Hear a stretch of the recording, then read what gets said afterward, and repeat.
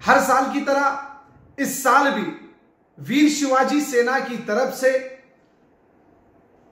छत्रपति शिवाजी महाराज जयंती के अवसर पर सभी से निवेदन करता हूँ कि 2022 19 तारीख, शनिवार की सुबह साढ़े नौ बजे पुराना फुल अंबेडकर कम्युनिटी हॉल से इस शोभा यात्रा का शुभारंभ होगा।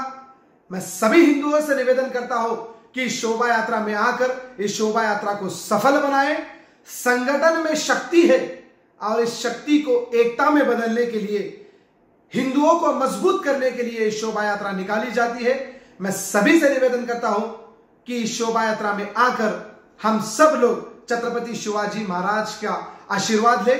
जय भवानी।